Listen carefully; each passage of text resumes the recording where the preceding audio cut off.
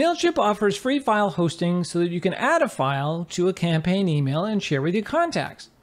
Now, MailChimp uses this system over the more traditional email attachments because the email attachments can slow or even stop bulk email delivery. And in some cases, with security software in place, will immediately stop your email even from coming in. So let me show you how it all works. So we go to our dashboard and we're gonna go over to all campaigns because I've got one already started. We'll click on Untitled here. We're not interested in the who's going to, which from, but we're going to edit the content here so we can add a file to uh, share to our contacts.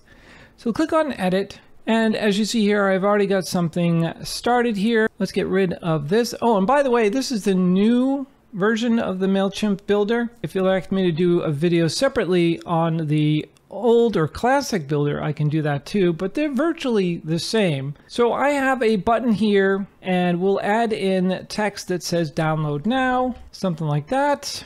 We can change the text, the background, all that good stuff. Not important for this video. We'll scroll up to the top here and this is where we add in our file. Add a file to your email from where it says link to, click on file. Now you have two choices. You can upload from your current device or you can select a file.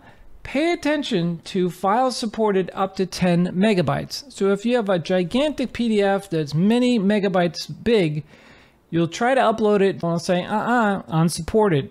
So you have to make sure they're less than 10 megabytes. So keep that in mind when you're uploading a file for PDFs anyway. And in general, images should be less than a megabyte. Let's click on select a file. So this is where all your files go, your content studio. And you can see here the numerous things that I've uploaded along the way. I'll select this PDF and you're probably asking, well, how do I know what PDF am I selecting? I'm asking myself that same question.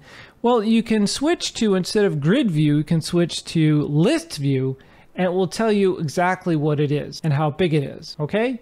So that's how you figure out what's what. So I'll select that, we'll click on insert. So that now file is attached to that download button. So as I send this email out, people will click on download now, they'll get that file, it will open up in the browser where they can then download that PDF. Make sense? Now it doesn't just have to be a button. You could use this image, for instance, to have a link to a file. So we change that to a file and we do the same thing over. We go to select file, select our PDF and click insert. Not only can you do it with buttons and images, and you can also do it with text. So if I highlight any part of this text, I go over to link up here at the top, click that, and then we have file again. The other way that you can add a file, I'm saying that in quotes here, add a file, is to link it to a web address.